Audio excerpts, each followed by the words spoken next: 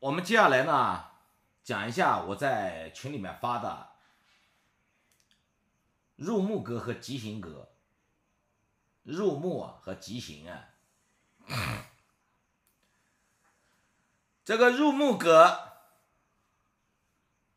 在民法中间非常重视的是天干的正五行入木，甲乙落坤入未中。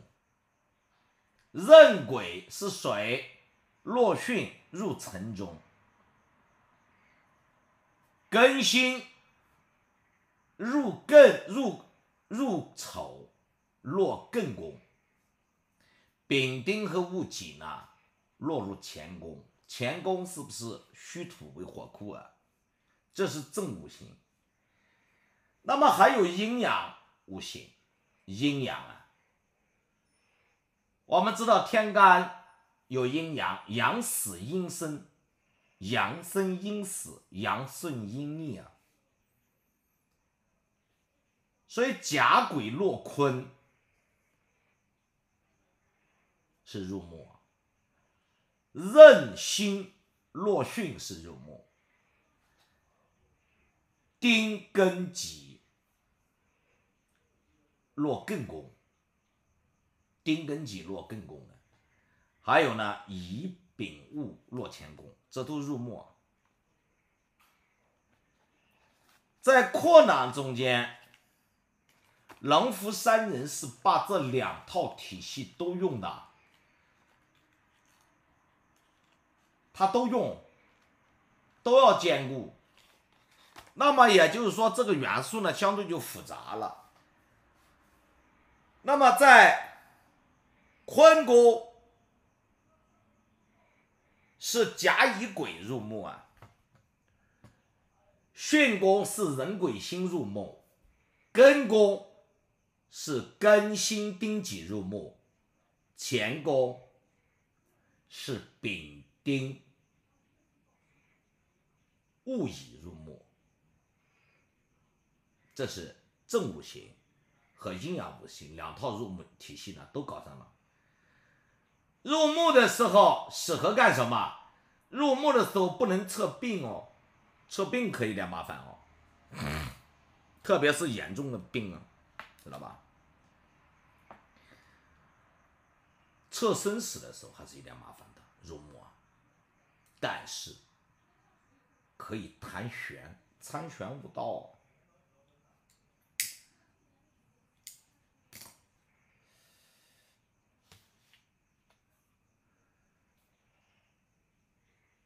那么入木和空亡都适合搞什么呢？搞玄的，请鬼请神，知道吧？请鬼神呢？这个吉行，吉行呢分为两种，一个叫四本的六艺吉行，四本的六艺吉行。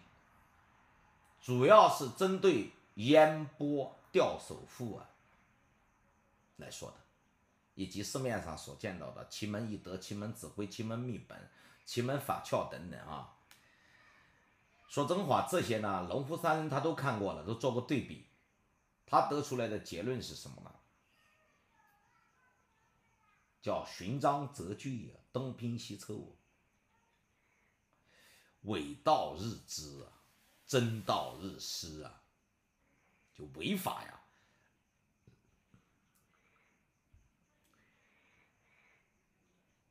我跟各位铁子们讲哈，龙福山人所讲的话我很信的哈，因为他这个人，客观来讲根气不是不是太牛逼，根气，但他的功夫下的绝对很到位，他的真正悟性啊。呃，并不是，并不是那么牛逼，这老爷子啊，谈到悟性，我他，我绝对超越他，悟性啊，灵性啊和悟性，我绝对比他强大。但是他的优势什么呢？一个是下了功夫，他从三十岁到六十多岁，搞了三十多年的民法体系。他学奇门是从二十一岁开始学的，到三十岁的时候，到二十九岁的时候遇到了周妙峰，他中间都失去信心了，因为他指望用奇门去混饭吃，他都失去信心了，他一断就错嘛。后来二十九岁遇到了周妙峰，也就是一八七零年，庚午年啊。到三十岁的时候，三十岁到辛未年的时候，一八七一年，他遇到了谁了呢？遇到了这个天真子孙道一啊。他呢，才得到了孙道一的手画心印啊，手去画，心去印啊。传授了民法，然后呢，才开启了他人生的高光时刻。一八七一年的时候，他呢整理出来了民法和言相。一八七五年的时候，整理出来了书要。一八七九年的时候，扩囊就已经成稿了。中间又经过了几年，经过了将近八年的时间，八年到一。一八九六年的时候，扩囊才真正的出来啊。因为他的一生还是比较坎坷的，很坎坷，很穷啊。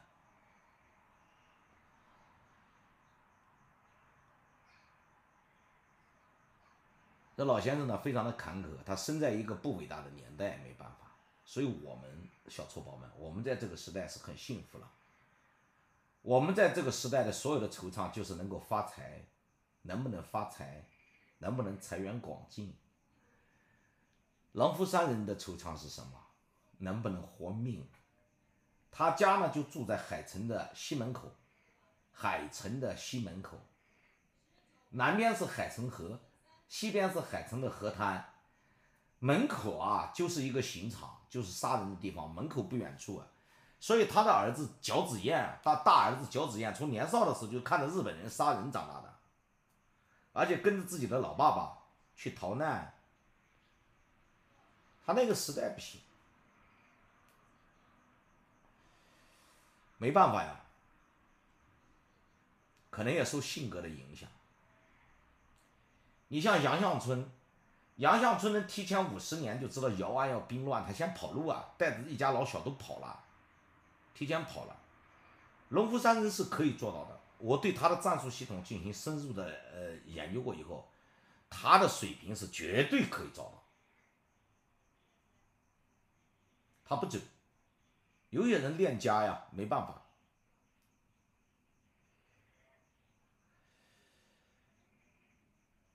他在四十一岁的时候，能够花三百个大洋。四十一岁啊，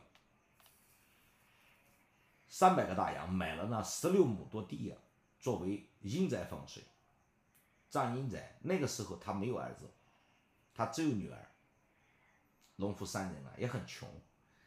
张我以后从四十八岁以后，四十八岁他的大儿子出生了，他五十岁的时候他的二儿子出生了，他后面呢五个儿子。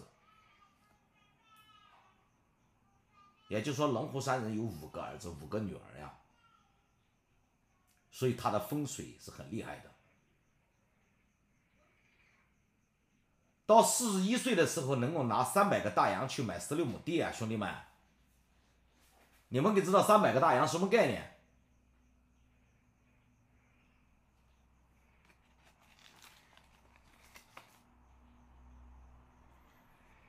然后呢？在五十三岁的时候，他的家被拆掉了，被伪军给拆掉了，被汉奸了。因为他带着团练打汉奸，结果汉奸呢，把他房子全拆掉，拆的干干净净，连片瓦不存的，也苦逼啊！然后后来呢又回到了海城，回到了海城呢重建的，但他的脾气呢有有个性，他去骂英英国和法国的传教士，结果又被抓起来了。他一生中坐了好几次牢，应该是至少两次，可能是三次哦。所以这老头那么个性特别强，很有个性的一个人，有本事的人是很有个性的一个人。我告诉你哈，同学们，《农夫山人》记载了一个案例，他的一个朋友叫陈鹏桥，问他。你看我今天到东南去会遇到什么事？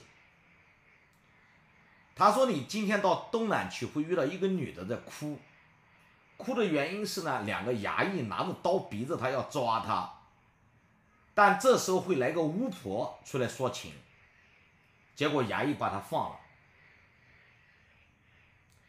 然后他那个好朋友去过以后就回来了，果然经历了，果然碰到了，说你太牛逼了。这个这个断法图像很精细啊，他是不是比你断那个什么脚上长个刺啊，屁股上有个黑痣牛逼太多了啊，铁子们，是不是？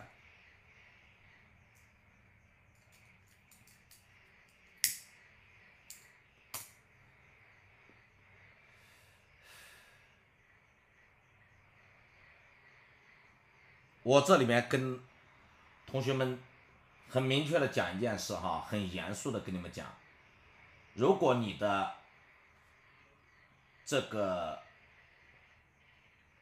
你初学的，就把民法看明白就行了，就就就照着民法来，因为民法和扩囊很多都是改变了，到后面扩囊的时候，扩囊很多用法跟民法都不一样了，知道吧？这个扩囊的起局，我们可以用，当然也可以用民法起局啊。但是扩囊的战术系统牛逼，非常的牛逼，但是呢，玩法不一样。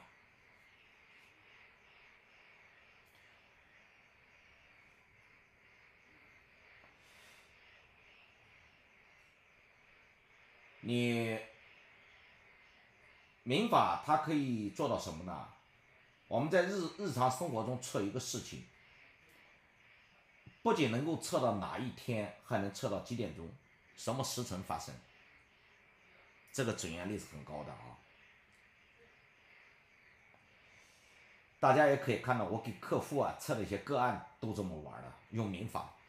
我这人心狠，当我。需要全力以赴去研究民法的时候，我就直接呢把把这个梅花什么都放下，等民法玩的差不多了，打通全面打通，玩独象，这玩意是我的强项啊。这个王凤林老师讲，阴盘奇门的独象不能用在其他的奇门上，不对的，都可以用，是通的。可能呢，时隔不久，呃，我整出来的图像体系会更绚丽，因为万物内向，我们的凤鸣老师绝对没有我玩的熟。我是玩梅花的，十六年玩梅花，梅花易数玩十六年，你想对独像这个功夫是不是很深刻啊？我们这里有的同学啊，在我身边的看到了梅花可以锁定的天和时辰。梅花可以锁到天河时辰，梅花铁关刀，傅素锦见过吧？傅素锦，这里边傅素锦同学见过，断到天，春哥断到天，断到时辰，是不是太简单了？是不是毫无悬念啊？玩相法。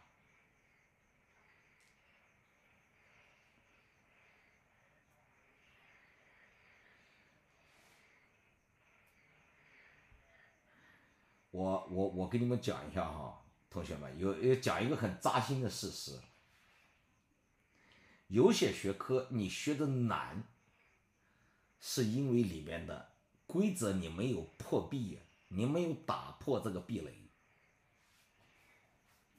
没打破壁垒，你去悟，你没打破。再一个呢，你跟着春哥后面去学习的时候，春哥叫你学啥你就学啥，这样你进步快，听到没有？春哥不让你看的你就别看。你比如说输药和扩囊，你看过以后你会疯的，你驾驭不住，你不知道里面的底层逻辑。来。扩囊中间，郑彤老师，我所知道的，他那个民法体系教室，我不知道这个哈，我不知道这个这个这个印了多少套啊？这这个这个是一套啊，我那上面都有啊，这个我不知道印了多少套，但是这个顶多两千套。顶多顶多两千套，然后你们现在手中拿的都很新，都是加印的，是郑彤老师专门加印的，没有存货了。为什么那么少？它的市场太狭窄了，市场啊，这个人都很有意思，物以稀为贵。在一二年的时候刚出来，大家都疯了。在一二年之前，民法没出来的时候，在零五年的时候，有人都愿意出三百万去买这个书稿，就像你吃东西一样的，一盘肉丝，这一桌子就这一盘肉丝，你会吃的很香。如果这一盘这一桌子都是肉丝，还有鲍鱼，你连肉丝都不吃了，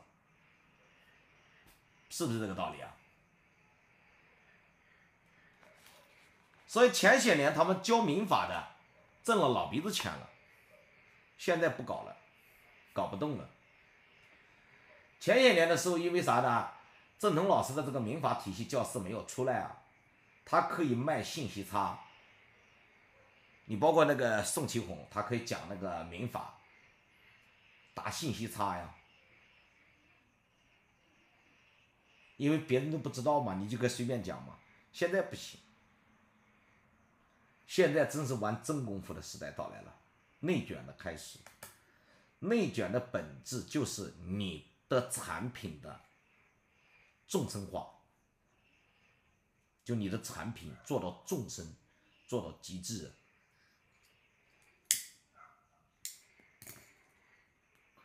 我再告诉你们，给你们剧透一下啊，我老婆正在学梅法、民法，我要传授我老婆，一定要让她学会。我直接。我老婆现在信心好大好大，因为他亲眼看到我玩过很多次啊。我为了激励他的信心，我现场玩。我要玩到呢梅花玩不到的东西。特别是前天晚上哈，前是前天晚上还是昨天晚上，我忘了哈。前天吧，昨天前天，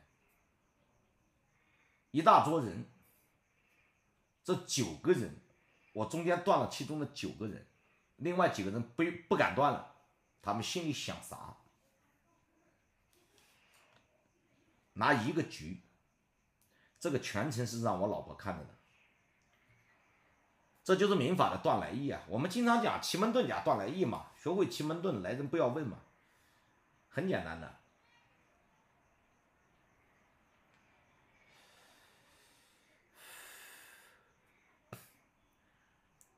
六艺吉行，四本的吉辛格，四是市场的四，本是版本的本啊，四本就是通行版本。因为民法呢，它属于小众，往往就这样的绝活呀，真理都是掌握在少数人手中。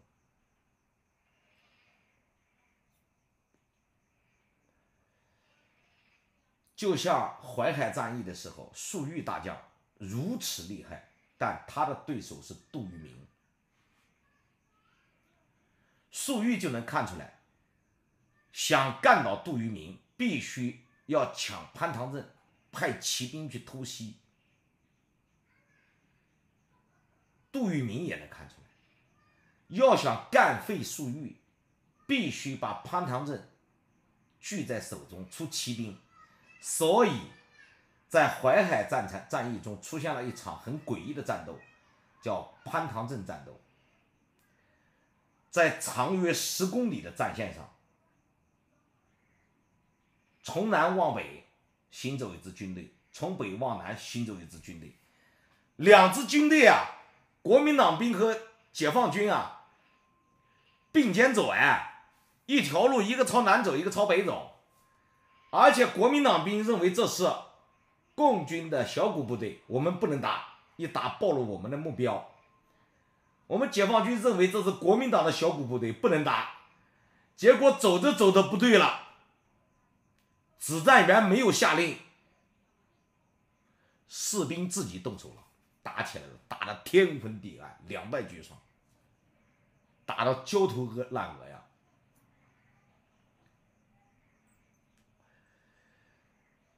这时候淮海战役是非常焦灼的，粟裕要对付黄百韬、黄维，要对付杜聿明，以一敌三，险象环生。这时候中央军委在西北坡。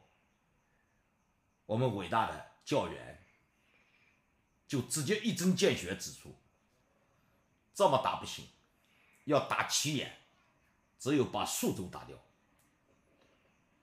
叫虚县。当地人读虚县，安徽的宿州，普通话叫宿州，叫虚县，打虚县。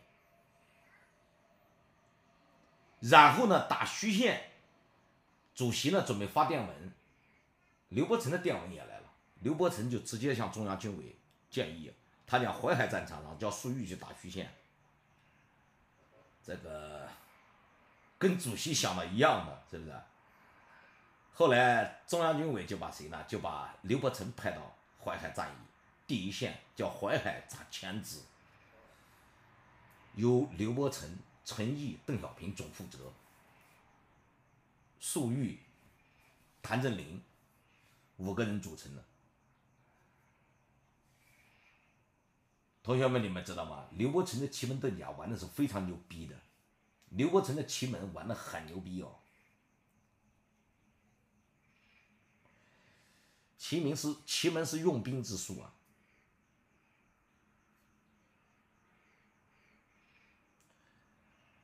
用农夫山人的话来讲，发家致富不一定。他说啊，学习民法发家致富也不一定。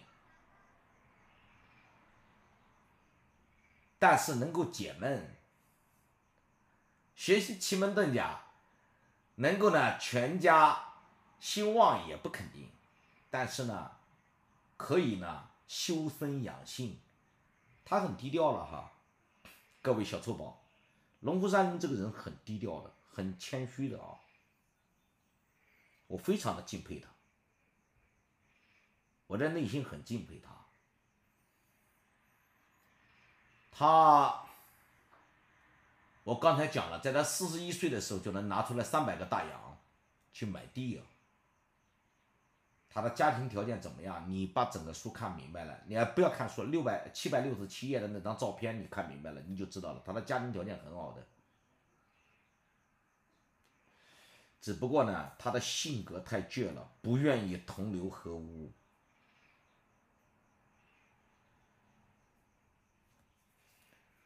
我觉得这个性格呀，我跟他很像呀，我也不愿意同流合污，我的个性也很倔。真的，今天今天两个老板给我打电话都来了，其中一个老板来了，在嘉安餐厅等了，我听赵经理讲等了两个小时，想找我来策划，我根本都不鸟他们，我睡觉呢，鸟你干嘛？我活在我自己的世界里。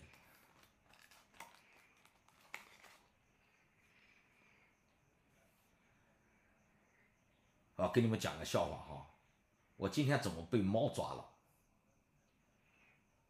啊，被猫抓了。你们可以知道怎么被猫抓的。我今天呢，坐在院子东南的石桌上看书，看到阔囊一段，农夫山人呢，阔囊一段，这个，尤其是看到了手画心印这一段。我在想，心法，这个农夫山人的整个体系有四本著作啊，民法、言相、书要、扩囊，这四本书，学习这四本书的心法在哪里？在书要心法背录，那是心法。学奇门是有心法的。嗯，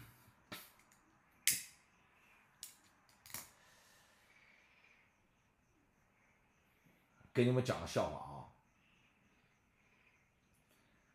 讲个什么笑话呢？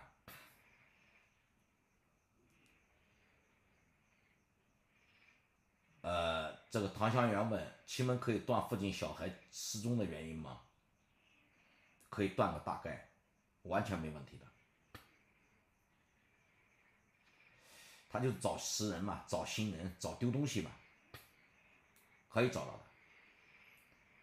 我跟大家讲一个真实的案例啊，这个有一年就几年前了，这个沃阳锦友城发生了一起凶杀案，老公把自己老婆。几几刀捅死了，是在傍晚啊，这个当时影响很大，在一个小区里啊，捅死过以后呢，这个老公呢带着刀跑了，他是个危险分子，当时我们霍局县的治安大队、刑警大队都要去抓呀，奉命去抓呀，他是个危险分子。然后呢，大队长王永福是我高中同学，打电话给我老同学啊。发生了凶杀案，你知道不知道？我当时还不在锦绣城，我在哪呢？我在，我在江南，在江南哪地方？时间长了也忘了啊！我在外面看风水呢。我起局给他看一下，这个杀人犯跑哪去了？因为他是个危险分子。我一看过以后就跟他讲了，没问题，这个杀人犯不会再继续行凶了。他现在在东南方。一个非常阴暗、寒冷、潮湿的地方在躲着呢，动不了了。然后两天以后，你就能把他抓住了。结果两天以后，在沃阳河里，这个行凶者的尸体飘出来了，在东南方，很近啊。沃阳锦友城的东边不是沃阳河吗？在沃阳河的东南飘起来了。所以在水里不是不是阴暗潮湿嘛，对不对？你这件事，我那个同学啊，就是刑警队刑警大队长啊，王永福啊，霍局县刑警大队长王永福，他非常佩服我。我高中同学啊，他以前是派出所所长干起来的，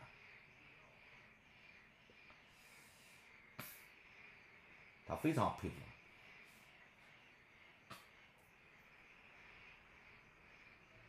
他后来还为这个事啊专门请我吃饭，这个这真是啊，不带骗大家，骗大家我都这个，我都王八蛋啊，不存在骗大家的。像春哥这水平，我不需要忽悠，知道吧？所以这民法它有它的到位，很简单，民法找人的时候就直接找六合，上门加六合嘛。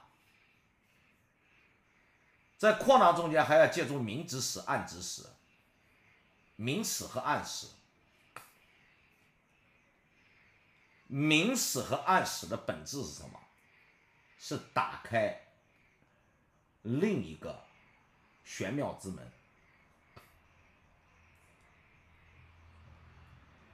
明使暗使的使用关系是什么？我在这里给你讲一句哈，点你一句啊，你现在用不上。你在民法中间你用不上，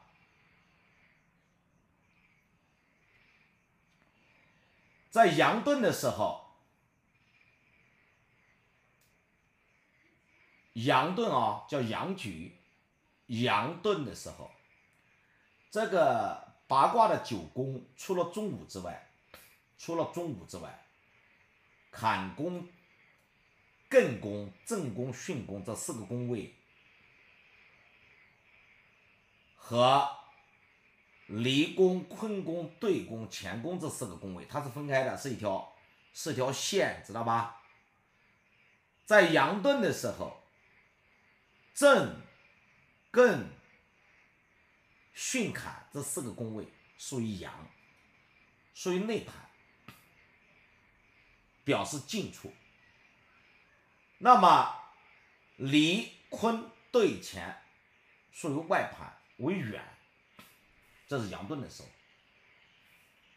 阴遁的时候呢，以离兑艮乾为内盘，表示近；以坎艮正巽为外盘，表示远，这内外盘。当阳遁的时候，阳死也就明死，明死落内盘，阴死落外盘，这是必然的。为啥呢？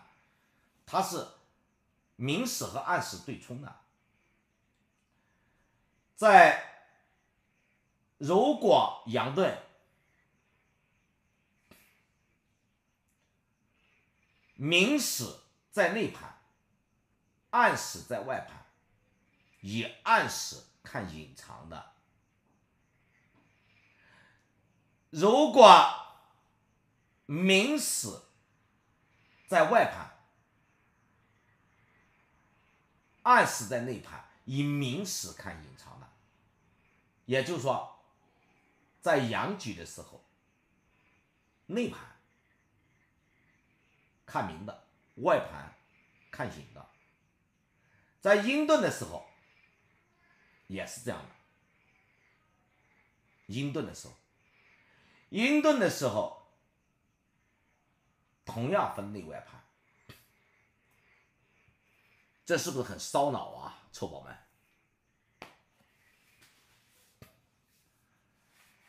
所以先用减法哦，你不要贪多求快，慢慢来，需要时间的。我在几年前就讲过，要学民法的时候，你需要做好一个准备，一年到三年的时间，要根气好的，一年，根气呢稍微迟一点的话，要待个两三年，也就是说你的脑子非常好使。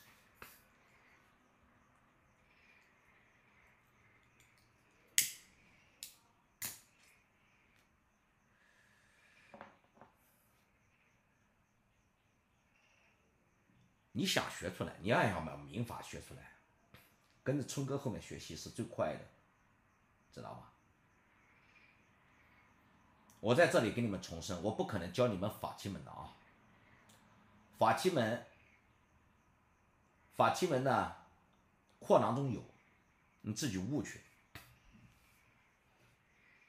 为什么？因为不允许我教啊。不允许我教啊！不是我自己说了算，我一点都不骗你，不忽悠你们。龙虎山人自己玩法器门，而且龙虎山花山人自己的表达，他奇门你是看到了天地间的一些规律，他肯定有法器门，肯定有啊。你想你找东西在哪个地方，东西丢了，马上就能给你看出来，在哪个方位。你像奇格。奇格就是用来修炼的。民法中间，正格、辅格和奇格，正格和辅格是用来断吉凶的，奇格是用来修炼的，请仙求道的。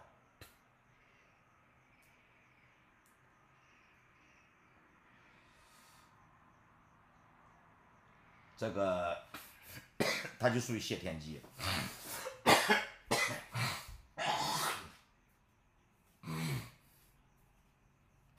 那个李伟，李伟同学哈，就有个李伟同学，昨天不是找我去给他测他女儿上面一个工作的手续嘛，能不能办下来？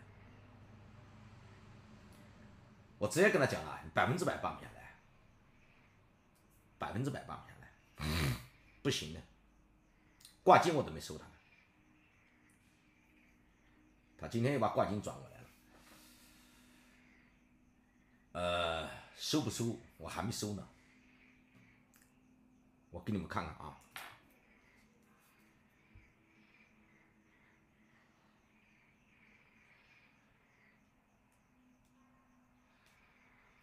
你看，朋友们能不能看到？昨天我把分析的案子都发到群里去了，这是不是冠军？我为为什么没收啊？他事情办不好。他的本意是想让我办的，我真的不想帮。要帮的话，能不能办好？可以。民法他会告诉你有另外一个秘密的通道，但是办过以后对别人不好，明白吧？这就是法器门。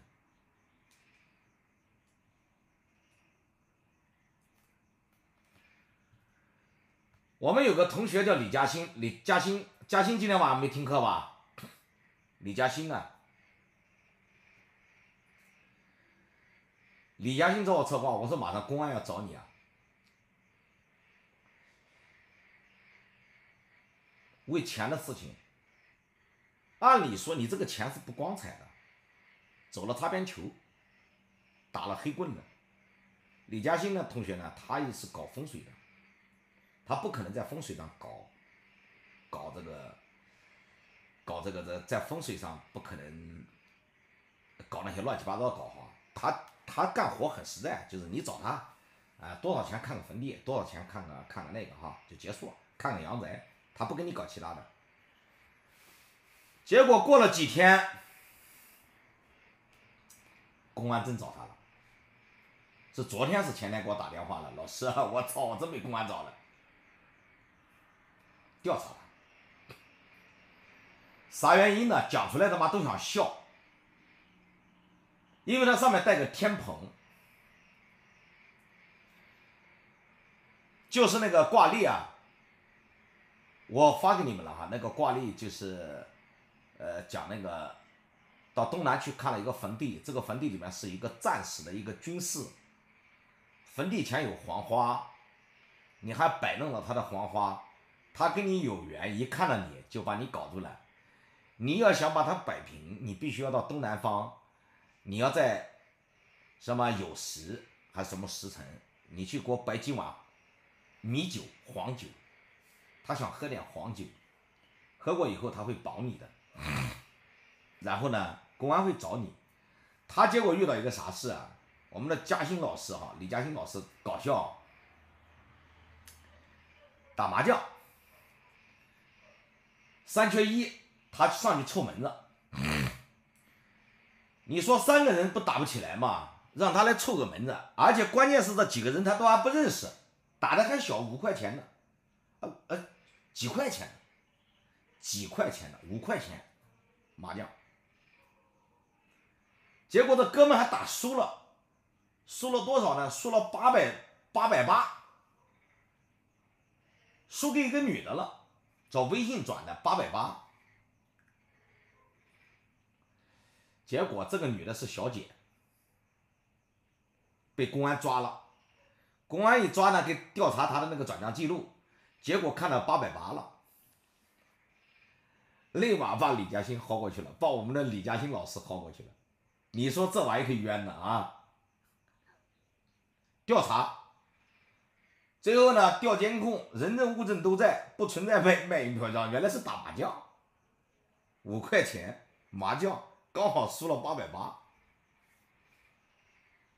是昨天还是前天给我打电话，老师，我操，公安真来找我了，我操，他妈真晦气的，我做梦也没想到，他讲他做梦都没想到，那是个啥呀？是个小姐，我靠，你哪能想到的呀？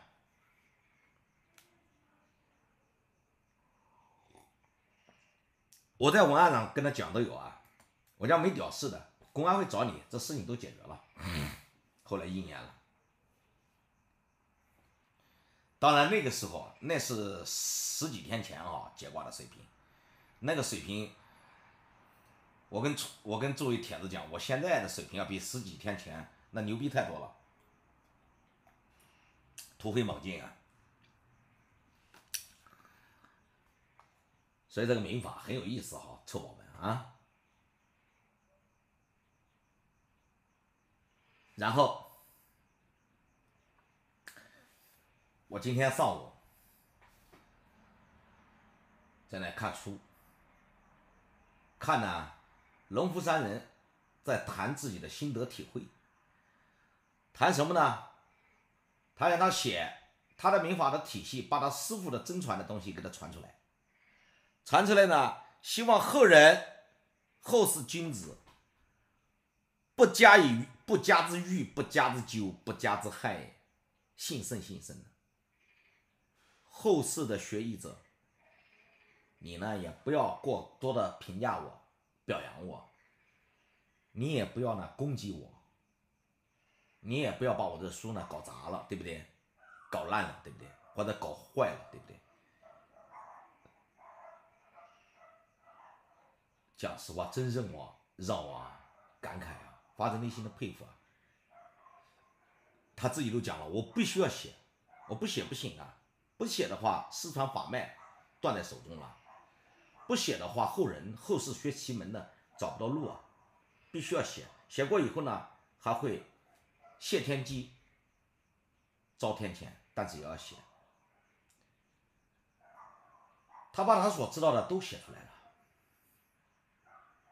这老头，我跟你说。人特别好，都写出来了，就看你的灵根怎么样。而且他讲了他的师傅，南极星君袁天罡陪着他见了南极星君，我当时都笑喷了。我说老头脑子坏了。他说他三十五岁那年做梦，做梦梦到了南极星君，传他的木气论。后来我才发现他怎么解释。我是南极星君啊，托名本源，道号天真呢。谁呀？天真子。也就是说，在龙湖山人的心目中，他的师傅天真子孙道一老人就是南极星君，就是来传他法门的南极星君。哦，是这样一解释，豁然开朗。我我经常跟我老婆讲，我说这老头到最后脑子可能坏了，我讲别有天嘛，别别把你老公的脑子搞坏了哈，别把我的脑子搞坏了，是吧？所以，在这个时候，我家猫趁我不注意跑来了，躺在我的脚边呢，把我的腿抓了。我们家的猫是非常温柔的。非常温柔的，哎，我说你这个操蛋的鬼哈，你怎么能抓我呢？我手一搞，又把我手抓了。胡书记都知道我们家的猫多温柔啊，他妈的怎么能抓我呢？我就想，这是什么概念？好，我坐在东南的城方，我坐着呢，东南城方是不是龙啊？在石桌上，石桌、石凳是不是山呢？对不对？猫是不是孵下来的？我家猫是灰中带黑，是不是壬水呀？猫是不是寅啊？寅虎啊，它是小虎啊。龙虎山人是不是出生于壬寅年？猫躺在地上是不是福？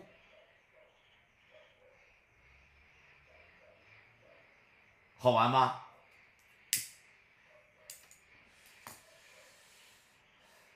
后来我起个提门局，要断我能不能抽烟。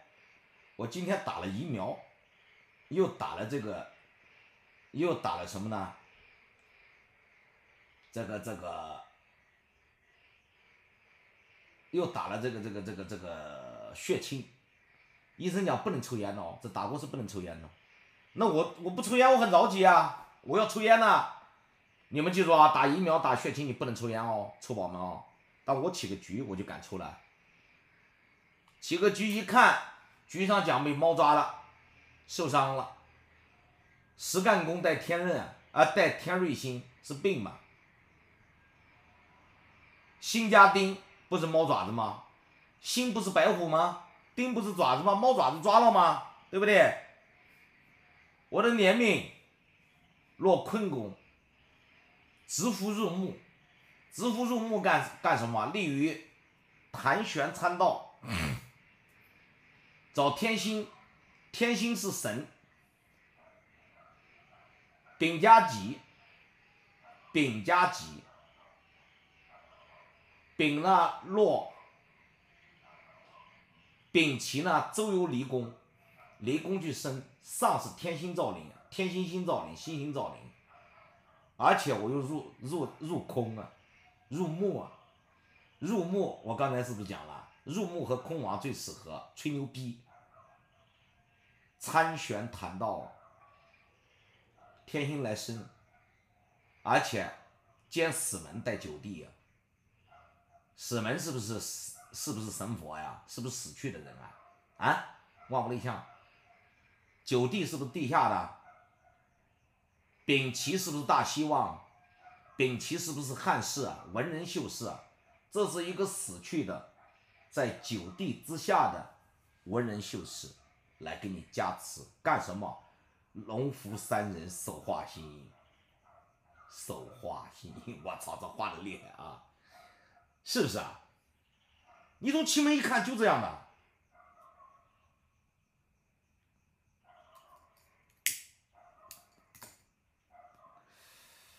而且奇门告诉我，六天以后，在五月的，不是六天了。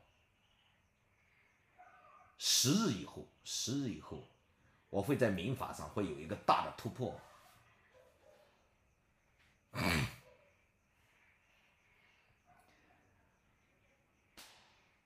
这个局其实告诉我，十日以后会在民法上有一个大的突破。你们有没有看到我最近啊，很憔悴啊？我啥也不干，就专注。我我跟你们讲啊，臭宝们，你们记住春哥跟你讲的，扩囊，你要玩不转的话，不要在里面死啃，会把你脑子搞坏的，真可以把你脑子搞坏的。扩囊里面有暗门的，民法里面有暗门的。岩相里面有暗门的，书要里面有暗门的，扩囊是有暗门的，暗门在哪里？三人都给你写出来了，你给他看出来，是不是啊？你没找到暗门，就不要走太深了，暗门可以抄近，大捷径。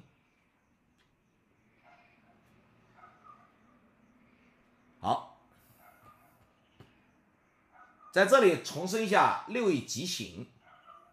六位吉星，戊四本上呢是悟到正果，我在群里发了一个表格啊。壬癸，你看戊己庚辛壬癸，三二八四四四，你看三二。八九四四，三二八九四四，戊到正三宫，己到坤二宫，庚呢到艮八宫，辛到离九宫，壬癸到巽宫，这都是六位吉星啊。我在表格做了一个图发群里，你要记住啊。但是在扩囊中间，它用的更复杂。这是我很多年前一直疑惑的一个问题：为什么烟波吊首赋中六位吉星搞得那么简单？你比如说甲戌己，是不是丑戌未三刑啊？这个己到艮宫，它应该也是刑啊，是不是啊？甲戌己到坤宫、艮宫都是刑啊。你比如说甲寅癸，这个癸到坤宫，它也是吉刑啊，有个寅申相刑啊，寅巳申相刑啊。那为什么四本中间没有，在扩囊中间它就有了？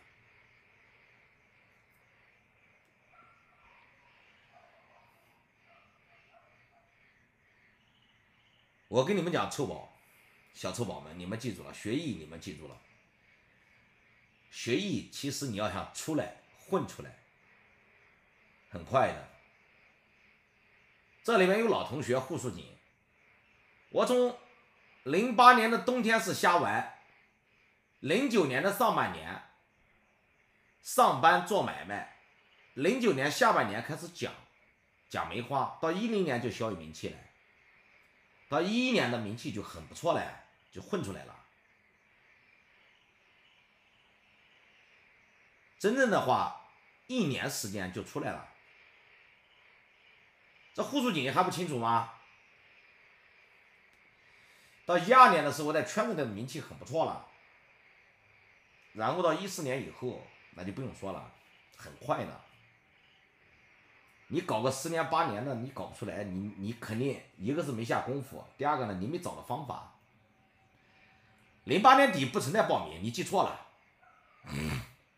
那个护书锦，零八年底不存在，零八年底我压根就没教课。零九年，零八年怎么可能零八年底啊？我零八年腊月的时候我都断不好卦，年三十的晚上才挣到钱，我坐在网吧里。年二十九早晨挣了二百块，第一次人家给我钱是上海的张伟找我测卦给了我二百块，我坐在网吧里。然后呢，年三十的时候还在断卦呢。我是零八年年二十九年三十，穷到什么程度？家里连买肉的钱都没有，断卦挣的钱寄回。寄回老家给我爸妈去买点肉过年，我还不记得清楚吗？我那时候教学教个屁呀！我可不敢忽悠，我我我也不是一个不愿意忽悠的人。讲实话，你他妈啥啥逼玩意都不会，你教学生能教得了吗？我当过老师的，我还不知道吗？不知道这里里边的厉害。就像我教你们一样的，我给你们讲奇门讲民法，我自己连起局都起不好。或者我断都断不了，对不对？我也不敢现场断，我我就凭张这张脸去讲。你们提问我他妈也回答不上来，对不对？你讲个屁呀，还不够跌相呢，骂都给你骂死了，对不对？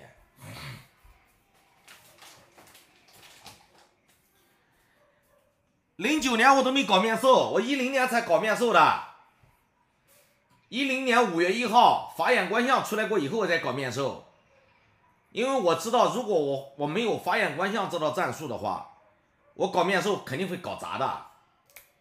一零年搞面授，差点搞砸了。现场有学生跟我现场 PK，所以零九年开的是网课，零九年那时候你差不多，在网上讲讲一年。零九年讲到一零年的时候，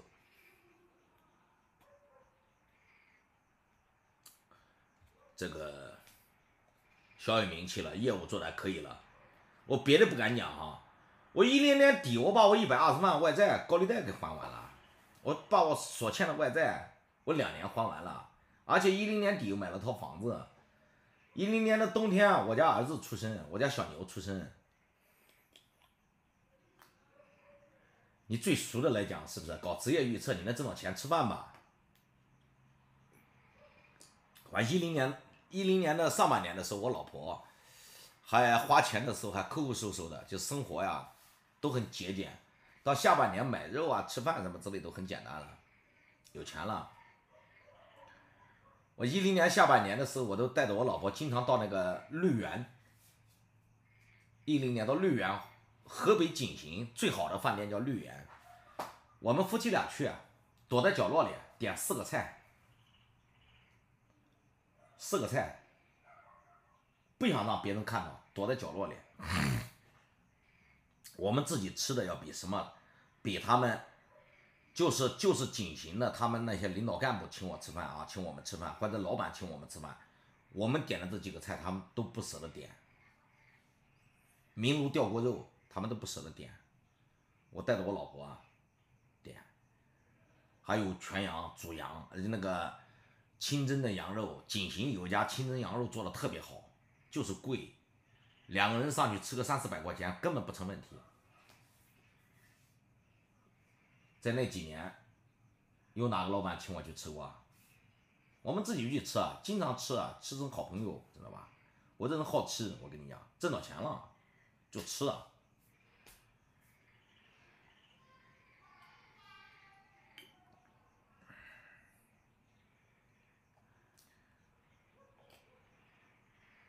你看，一五年的时候带我老婆出去，一五年的时候带我老婆出去到昆明，在昆明宾馆，昆明宾馆的房子一千多一晚上，昆昆明有个昆明宾馆，一千多一晚上。嫌的太小了，压抑。问他有没有好一点的，还有大一点的三千多，那我们就换大一点的。开几天？先开三天再说。啥原因啊？口袋里有米了，对不对？老会装逼了。我出去跟我师傅学习，我第一件事先查这个地方，我师傅这地方好点的宾馆是什么。最起码五星级的宾馆，你看清河清河宾馆啊，我师傅在清河县，河北的清河县，清河宾馆还不错哦，五星级宾馆。先去开上五个晚上再说，为啥呢？它里边牛逼在那个清河宾馆牛逼在什么地方？它里面带餐饮，河北的所有的菜它都有，有餐饮，所以中午四个菜，晚上四个菜就自己。中午喝喝半斤酒，晚上喝半斤酒，一天喝一瓶，很悠然。我跟我任何学生都不讲河北，我跟我师傅学习的时候，我河北的学生都不知道。我去，我也不发微信，也不发朋友圈，我自己跟他好开心。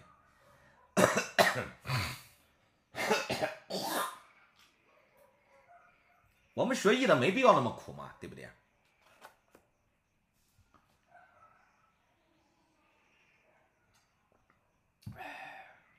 生活谁不想美好啊？所以学习也是这样的，同学们，就是你们学习。所以你看民法的资料对外卖，包括我们群里面同学对外卖，我不反对呀。你们可以卖一卖，为啥？有些同学，有些学艺的后学者，真他妈太穷了，我跟你讲。谁有钱不想吃点好的，对不对？谁有钱不想走这个更快的路啊？他经济上确实跟不上，当然你的经济条件好的话，你不要耍这些小聪明，没用的。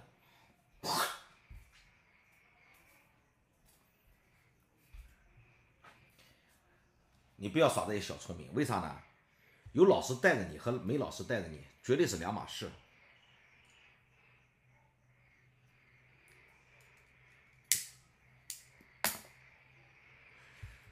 好。我们先聊到这里。